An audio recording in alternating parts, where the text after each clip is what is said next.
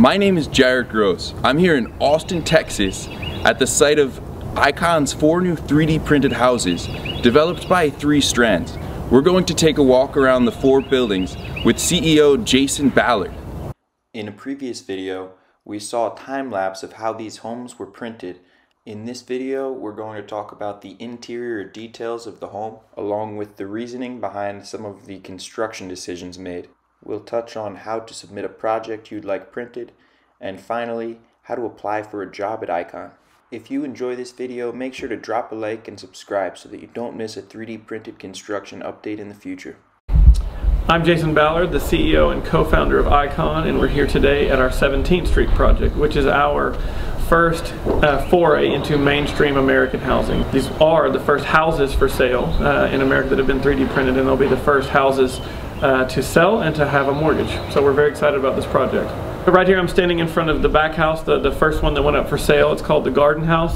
Uh, right here is a little rounded uh, accent wall leading into the entryway. Of course, one of the cool things about 3D printing is the ability to introduce more organic forms into the architecture without increasing cost. So a lot of these features are typically considered to be more expensive, luxurious, more high-end. Um, but of course for a 3D printer, a curve or a slope is just as easy as a straight plumb line. So this is a fun little wall detail because it shows uh, several things that we've been working on all at once. One is you can see the foam insulation inside the wall. So when we print the wall, we've worked really hard on designing a wall system that actually very close to eliminates thermal bridging altogether and then additionally adds incredible insulation value. So you can see the insulation in the wall here. The other thing you can see here is we're beginning to in place the conduit for electrical and plumbing during the print, in the print. So like rough out plumbing and electrical is already done when the print is complete and you can see that here, and that's been very successful. Uh, areas that we expect to be very intensive with regard to remodeling, perhaps those areas the utilities get put into a traditional stud wall or in a way that's easier to access, and I'll show you that now. So in the way that we construct houses, we have chosen very intentionally to work with a highly resilient material like concrete because we hope part of the solution to a lot of the housing challenges we face will be treating homes more permanently and less disposably, uh, right? Sort of purposely designing, designing for resilience. We think this is good for housing affordability. We think it's good for sustainability. But of course, there are trade-offs. Um, concrete is hard to remodel with. It's you know it's much harder to cut into uh, than like wood or something like that. And so, as we've designed these houses, we've tried to think about what are the parts of the home that are likely to have a faster turnover. Uh, and of course, the answer to that question is kitchen and bath. And so uh, something else we were experimenting with in this particular project is printing everything except the kitchen walls, right? So that as kitchen remodels happen over the year, it's a little more easy, it's a little less disruptive to the home. And so um, this wall you can see here, it's got a lot of the plumbing and the kind of things you're gonna need in a kitchen or bath setup so that when those remodels inevitably happen over the life of the home, because we hope these homes last for a hundred or longer years, um, it's not disruptive to the, to the core structure of the home. So that's the idea.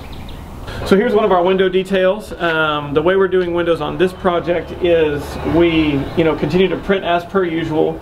Um, and then when, when the window gets to the lintel height, we place the lintel during the print so they're able to operate continuously. Uh, and then also this little bottom sill uh, was formed up and poured during the print as well out of the actual lavacrete that we use to print with. The microfractures on the wall. Yeah. Can we talk about that? Oh, yeah. So right here you see a thing that still happens from time to time. We've eliminated a lot relative to some of our earlier prints. This is called plastic shrinkage. This happens when concrete shifts from its fresh property, extrudable form, uh, and as it moves toward its cured and solid form, as the water evaporates in certain areas where like stresses and rapid evaporation combine, you get this thing called plastic shrinkage, and it creates this like micro cracking. Uh, it isn't structural; it's cosmetic, and so this um, completely disappears once we like paint and you know uh, trim out the house.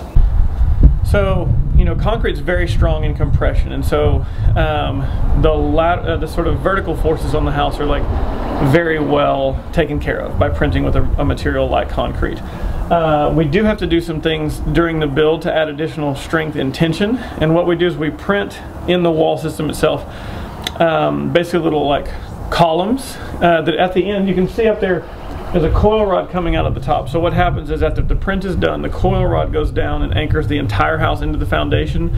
We fill it with more lavacrete, put the top plate on, sort of are like bolting the entire house down. And that supports the lateral attentional forces um, that happen uh, in the life of a house. So we're up here on the second story of these houses. The, the other interesting thing we did on this project is, aside from being our first chance to, to build a mainstream American house, to list it on the open market, to get a mortgage on it, all that stuff, it was also a way for us to begin experimenting with two stories. Um, we very much think that two-story printing is in our future, and we wanted to make sure that the 3D printed portion of the wall system is engineered, designed, and capable of supporting uh, two-story structures, passing code, getting the sign-off of structural engineers, those kinds of things. And so you can see here, the second story in this particular project is framed out more traditionally. Um, however, we are very much committed to high performance homes at Icon, and so we needed the energy performance of the second story to be at least as good as the energy performance of our 3D printed walls, which means we've kind of had to upgrade to at least 2 by 6 framing to get that extra insulation. Otherwise, you'd have a really incredibly performing first floor, and the second, you know, all your energy losses and, and kind of lack of performance would be on the more traditionally framed section. So we've upgraded a little bit here and we think the result will be a very cool aesthetic and architectural house, but also a very high performing, energy efficient uh, home that's very comfortable for the operators uh, and you know the way we ought to be building homes. So when this is all done, you know, when the when the the second story is all finished out and the first floor is all trimmed out and dressed out, before we sell the home or allow somebody to move in, the last thing that we'll do is do a blower door test uh, to confirm that the house is as tight and sealed and uh, energy efficient as we expect and hope it to be. So of course on the portions of the house that are uh, you know framed out more traditionally we still expect them to be very very high performing and so considering things not just like the insulation that I talked about earlier but also the moisture performance of the home especially on sides of the house this is the north side of the house and in this part of Texas weather systems frequently come in from the north uh, these are where like prevailing winds come from, especially during bad weather. And so doing things like adding this like water and ice protection um, and then sort of also some, this is kind of a, a, double product that offers water and ice protection and then also some radiant barrier. And so this is all about uh, doing everything we can do. Uh, any house that we build um, needs to be built according to the like very highest performance standards. And one of the more exciting things about this business icon has been how enthusiastic the world has been about uh, 3D printed houses. I get more emails and social media messages than I can even begin to explain from people who want their own 3D printed houses, they want access to 3D printers. Uh, it's very exciting as an entrepreneur, but it's also very heartbreaking at times because it just shows you how profound the problem really is. Uh, to date, we've only had a very small handful of printers, um, and so we've only been able to say yes to a very few opportunities despite sort of in our heart what we want to do is to, to do this for as many people as possible. That said, we are just now beginning early stage manufacturing and we are bringing on a kind of customer support and business development team because we want to be able to say yes to more opportunities. And so if you think you have a project that's a good fit for 3D printing, I'm not promising we'll be able to say yes today, but we would love to hear from you. Go to our website at iconbuild.com. You'll find your way to, to the portion that says, you know, tell us about a project you need um, and we'll do our best to get in contact with you. Um, please be patient. We still only have a small team doing this, and we receive thousands and thousands of requests every month. So we'll do our very best to get in touch with you, but we do want to hear what the world wants from this product. So even, even if we can't say yes, just knowing the kind of thing that you might want helps us design our houses and our technology to serve the world. And that's, that's really what ICON's all about. We're advanced construction technologies in the service of humanity. You're also studying right now for a master's degree in space. Yeah, I have like a, a, funny background that led me here. I studied conservation biology in undergrad.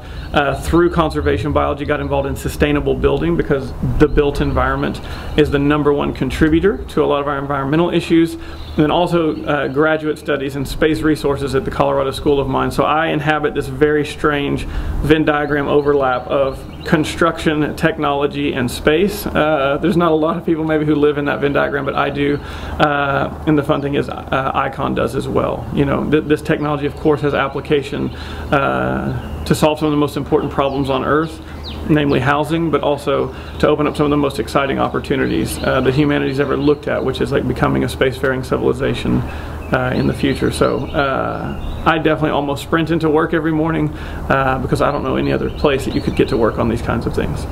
How do you balance your workload as a student versus your workload raising millions of dollars for Icon? Yeah, so the, the CEO graduate student work-life balance is a tricky one. The, the answer is Icon always comes first right now. Um, and I take kind of like one class at a time. So in the graduate program, it's fun. I've, I've sort of had a few cohorts uh, come through while I've been working on my studies. Uh, I've only had to take one semester off, but it's, it's, I'm kind of like the old man in the program now. Uh, I think I'll graduate uh, in like nine months, so almost there.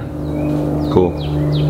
So one of the coolest things about 3D printed houses is not just that um, it's faster, it's automated and these kinds of things. The material itself is a much better building material when it comes to like creating homes that support human well-being and comfort, if that makes sense. So wood, for instance, it wants to rot. It wants to catch fire. It actually, it wants to conduct heat. Wood's a, a pretty good conductor, which is why we have to do all that work to insulate against wood. With a material like concrete, it's naturally pest resistant, it's naturally mold resistant, naturally water resistant, naturally strong. Uh, but it also has like a very high thermal massing performance. It absorbs a lot of heat before it starts transmitting it. It isn't exactly R value, which is like pure insulation. Thermal mass and insulation value are slightly different. And so we've done the one-two punch of like high thermal mass with the concrete, a foam insulation inside, so that overall you get walls that like without any upgrading approaching passive house levels of performance because you have high thermal mass, high insulated values. And so we you know sort of you might expect me to say this is the CEO, but we think 3D printed houses are not just sort of faster, cheaper, but you're like making some compromises on aesthetics or performance. These houses are expected to be better in every way. We are designing them to that end. Um, and we believe that the future of housing is not just automated and um, you know, delivered by robots, but the future of housing is actually higher performing. And we want these houses to be built in accordance with like our very highest values as people. What things are you looking forward to with the economies of scale at Icon? So the biggest things that, that, that as we graduate from building like homes by the dozen to homes by the hundreds and thousands, and that is coming very soon, uh, so stay tuned, is the ability to radically drive down costs. Because some, some of the costs we're able to drive down, of course, um, just by automating certain things. Uh, but there's still a lot of things that aren't automated or aren't 3D printed, or even the, the Lavacrete as we like batch and mix it. Being able to buy in larger and larger volumes will allow us to get the natural economies of scale that will drive down pricing. And then also, this really was a technology designed for scale to address a problem at scale. So a lot of what we've done so far in the early days is build like one house here, four houses there, 10 houses there. And that's cool and it's exciting and we'll probably continue to do that work. But you know, there's a transport cost to the printer. To get it to site, there's some time to set it up, uh, typically about a day, before you even start printing. And if you have to like burden uh, all of that cost and expense and time onto one house, uh, you're not going to reach sort of the radical improvements that we think need to happen in housing. But if you ship a, uh, a, printer to a site or ship five printers to a site, even better, if those printers are then there for a while, they're building a hundred houses, uh, you really start to see the profound effects uh, of what automating uh, the construction of houses at large scale can be. And so we think our romantic idea at Icon is house price houses delivered in half the time. We are not there yet, um, but the way that we're going to get there is by tackling these problems on scale. With the track system the printer runs on, the Vulcan 2, hypothetically the track could be as long as you want in one axis. Yeah. What's the longest track you've had? So the longest track we've printed on so far is right at about 70 feet. Uh, we used that on a project out at Community First Village here in Austin where we printed three houses at a time uh, that were, are, are, now being used to, to shelter folks who were previously experiencing homelessness. Uh, we have some projects coming up here pretty soon where we're going to be going over 100 feet in the tracks. Uh, and so experimenting with how long and how big we can print. Uh, sort of every project we do, I hope as you've seen on this project, we try to introduce new things, innovate in new ways, because there's a, a, long list of things that still need to be done uh, to transition the world from more conventional approaches to building to building of the future, which we believe is automated, we believe it's digital, and we believe it's actually going to be more affordable, higher speed, and produce a better product at the end. How perfectly flat do the tracks need to be along the length? You know the the tracks themselves need to be like quite flat so the printer needs can orient itself in three-dimensional space. And so we've we, we've, we've got little jacks and things built into the y-axis tracks. Um, and then also we often will bolt those tracks to the side of the foundation which of course already has to be flat and level. Uh, and so that's the way we're achieving the leveling right now, a combination of like manipulating the tracks to be level uh, and then keying off the foundation itself. So that's how we've done it so far. I believe in the future we'll be doing some more work in this area uh, so that the machine itself can, can do uh, its own sort of sensing and deciding where it is in three-dimensional space. So, So the Vulcan 2's print height only goes up to one floor, correct? Yep, so presently the Vulcan uh, is designed to be a, a single story, uh, a, printer for single story structures. Uh, the current version of the technology prints walls up to about 8 feet. We have a new version of the technology that's going to be coming out in the next month or so that prints walls to about 12 feet. We are also hiring, we're growing almost every team you can think of, mechanical engineers, mechatronics, control systems, software, material science, field operations, uh, you name it, we are hiring.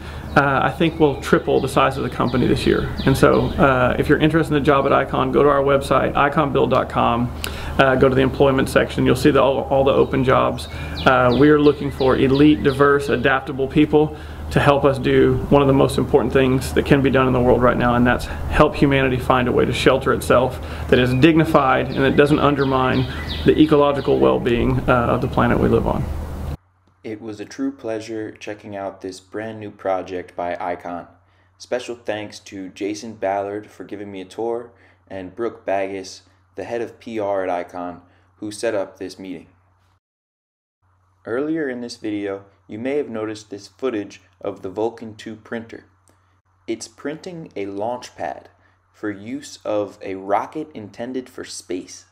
Off camera, Brooke was explaining to me that Icon has four main categories they're focused on. One being social projects or nonprofit housing, the next being for profit market rate housing. The third is Department of Defense contracts for the military, and the fourth is space applications, sometimes in collaboration with NASA. We don't get to see much of the work they do with the Department of Defense, but from what we do get to see, there's a lot of exciting stuff going on, and certainly no sign of slowing down. If Icon gets their way, there's no question 3D printed construction is going to the moon.